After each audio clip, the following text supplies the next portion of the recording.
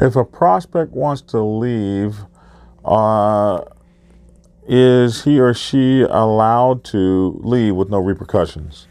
So when I wrote the book Prospects Bible uh, in 2014, I actually I talked about that a little bit about prospecting for a club and and leaving and, and all of that. And to, to tell you the truth, theoretically, uh, if you're prospecting for a club and you decide to leave, you should be able to leave without any consequences, without any hard feelings, because it's the prospecting time. But really, that's theoretically. In in all reality, that's not true, and for a couple of reasons.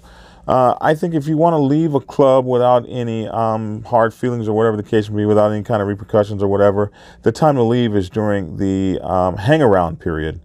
When you leave during the prospect period, well, a prospect is really a probationary member of a motorcycle club, and we kind of get nasty and, and mean and mad and our feelings hurt when somebody that's a member leaves us. So a lot of folks will say, well, but a prospect's not a member, but actually a prospect wears your colors uh, has been voted in, is responsible for the bylaws, and pays dues.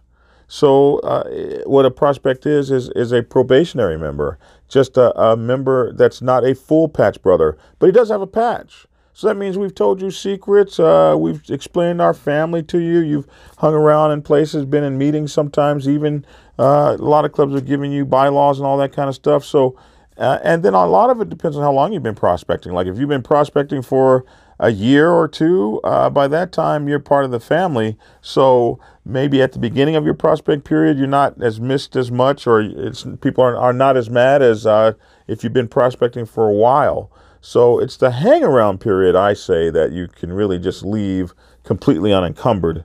Uh, and if you leave during the prospect period, uh, I don't know if there's any repercussions. It really depend on the club, but uh, definitely there would be some could be some hard feelings and some people's uh, uh, hearts are broken or whatever. Because when we bring you in a club, we bring you in for life. We want you to be there forever.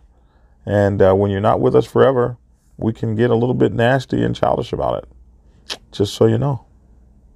Capiche?